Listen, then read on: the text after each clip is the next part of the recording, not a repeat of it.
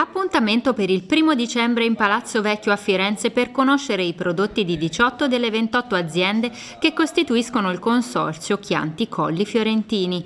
Una degustazione di vini aperta al pubblico dalle 14 alle 18 in Sala d'Arme. È il primo expo del consorzio ed ha il patrocinio di 16 comuni.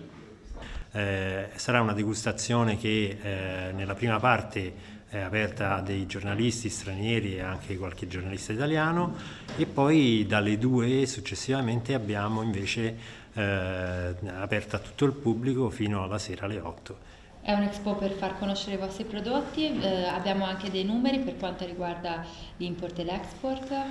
Allora, noi il Chianti Colli Fiorentini è prodotto circa in 900.000 eh, bottiglie l'anno e eh, di queste una metà è al eh, mercato estero e l'interno insomma corrisponde per circa il 50%.